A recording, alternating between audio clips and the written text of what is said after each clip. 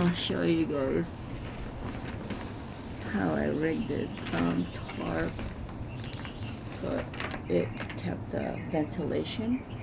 Um, this tarp doesn't have any loops or holes on it so to you know put a, a line.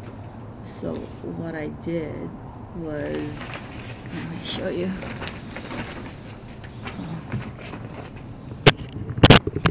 What I did was with the paper clip and this paracord I uh, put hold on sorry oops I found this little plastic thing and I put um, duct tape on it.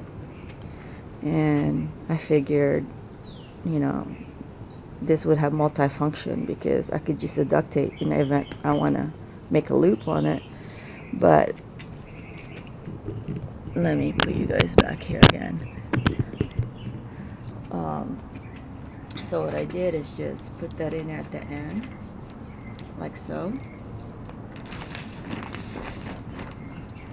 Make sure you can see. Like that. Bear with me it's I haven't had my coffee. And so now it has something to bite on the clip. And I use the cord. I have it tied in the back for now. And I tied a figure eight on a bite on it. So it creates um, like a knot that I could uh, take out easily. So that's a bite. And making a figure eight. Like so.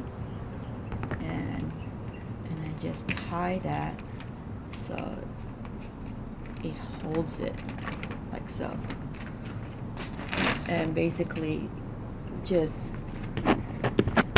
having that right there kept the inside um, a very little condensation if not almost just just very little like in the back. Um, but compared to yesterday or the other night it was really wet inside because this flap because I didn't tie it out it it dropped down and this was like that with it. So I was uh, I didn't you know it, it wasn't enough airflow but putting it out that way. And then this one I had this extra clamp and that's what I use. So it worked out. Um, I'll probably change this once uh, it there's a wind involved. So for now you know right now I'm I'm testing it out right here to the comfort of uh, being close to home. So yeah that worked out well. Actually last night this morning is the best night I've had sleep on this. And on the system I've slept on it two nights already. And last night and this morning was the best. I also rigged out uh, my ridge line this way using just this paper clips. And here's my climbing um, webbing. We call this runner single runner. And I have my climbing biner. And just a regular little rope here. I didn't want to cut up my climbing rope um, and I have the ridge line tied up the end of that so it's closed. And what I use to gather the ends all I did was gathered it and made sure that this part once I was gathering it that the top part was this way.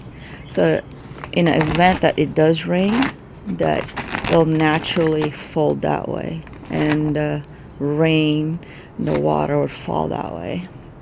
What you see here is uh, when I bought this tarp it's uh, hemmed up and it has a cord all along the perimeter because so you could cinch it. And this is a 9 by 9 tarp 9 millimeters thickness. And and then I all I did was girth hitch the ends of the tarp. And um, and also what I made sure is that the flap on this is this way. So in the event that it does rain that it falls down. So I don't have it up that way. And the possibility of the water trying to get in uh, hopefully it will not. So I'm just keeping it like that and the same thing on the other side. So yeah not quite the wild camping but I figured I want to test this before I actually get out there and um, do a solo overnight on one of my local uh, mountains. So probably hike up for a couple hours and spend the night up there and then hike back down. I look forward to that. And the ocean is over there. I don't know if you guys could see it. And that was the soothing sound I